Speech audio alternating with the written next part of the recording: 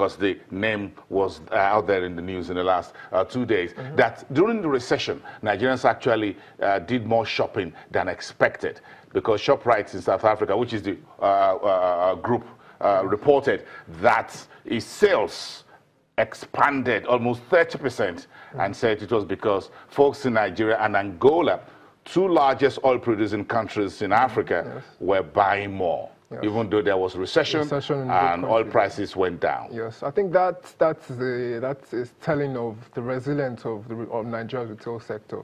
I think Shoprite were able to source most of their products locally, despite import restrictions, foreign exchange shortages. What they were, what they did was they sourced most of their products locally, and in response to the lower disposable incomes, they were smart enough to embark on aggressive promotion campaigns. They reduced some of their prices, discounted some of their prices, and that made their sales so resilient. And that's a very good advert for Nigeria's retail sector. I think several think tanks have told, have said that Nigeria's retail sector is very promising. In the next five to 10 years, to be booming. And there's still so much space for expansion. That we are hungry yeah. for good things of yeah. life.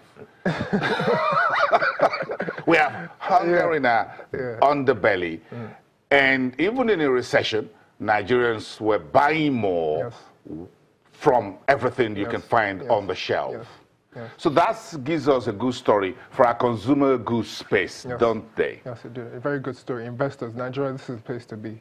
If, if, and especially in the real estate sector, this is the place to invest in. So I'm, I'm gonna, I'm not, I'm not likely to believe you folks anytime, anything when you say there's no money, because in a recession, we contributed to South Africa's ShopRite sales. There's no money, but Nigerians are just generally resilient. We're just a resilient group of people, which you'd have to agree. Yeah? We don't like going. We don't like going hungry.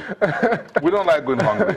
Uh, even when the markets and everything is down, mm. we want to keep the upbeat outlook on life. So folks go for a few bottles, no alcoholic, non-alcoholic, yes. a few more uh, pastries and things like that. Yes. It's amazing that how to make money in a recession. Yeah. That's a very interesting story, and, and I'm sure on, on, social media has been all over since yesterday that Nigerians actually did more shopping at ShopRite during 2016 recession. That's something that will go down in history. Yeah, yes, indeed. Yes. Okay, okay. Now, if you look at, so now despite the fact that a number of states were not paying salaries mm -hmm. and pensions were hanging, yes. and there was recession, yes. so we, we did more shopping.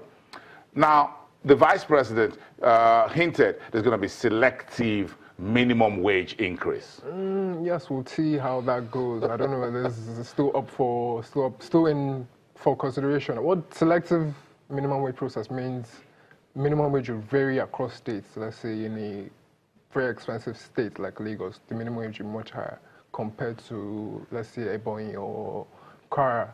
So it's a, it's a good initiative because we need a higher minimum wage. We, 19, we, don't know how this is going to work out. 19,000 naira doesn't cut it. We need more. No, it doesn't. It doesn't. It doesn't cut. It doesn't yeah, cut any ice. Yes. It doesn't cut any ice. Yes. But maybe. Um, oh, now this is going to be very tricky for me and very difficult for me to say. Perhaps states that are very rich, like Lagos, yes. shouldn't do any minimum wage yet increase. Maybe we give it to states that are much. But the cost of living in Lagos is really... It's very expensive. I think there was one EIU survey, Nigeria, this is a bad advert for Lagos, but Nigeria is at least one of the least livable cities because of the very expensive expensive, very expensive. Cost, of living. Yes. Yeah. Exactly. Uh, so, so we need minimum wage here, uh, just in case some folks out there think, uh, because the money comes in, and and and and of course it goes to uh, the, the, to consumption and and and and Ambode's economy here. Uh, so uh, that's how it goes. Uh, what's what are the other good news that we have here? And we can put, just push that up for about put, uh, put that up for that.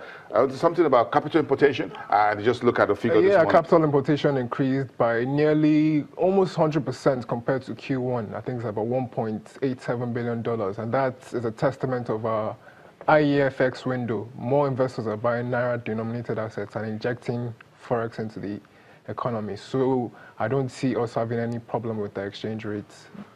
So barring any um, shock shocks, mm. we should be on a good. We should be home and fine. Yes. Uh, we should be uh, home and dry uh, as far as capital importation uh, in terms of FX. Yes. This this figure looks good. almost two billion yes. US uh, dollars in, in, second quarter, and we're now in the, at the middle of uh, third quarter. Ninety-five percent. Yes. I'm sure this is something uh, Godwin Emefiele and the rest of his team will beat their chest about Most at the next definitely. MPC. Yes, which, which is in September, which is just September. Around the corner, a few yeah. weeks around the corner, just about four weeks from now, yeah. we'll have that. Uh, diesel prices, uh, when I saw a little bit of diesel prices around 160, uh, and I drove past a few uh, gas stations and I said, hold on a second, 160? It used to be 200, but looks like things are getting better. Yeah, even not too far back, it was 170 naira, but I think they're trending down, which is, and this is despite our output from the national grid has declined, has fallen below 3,000 megawatts a couple of times, and in spite of that, our diesel prices are still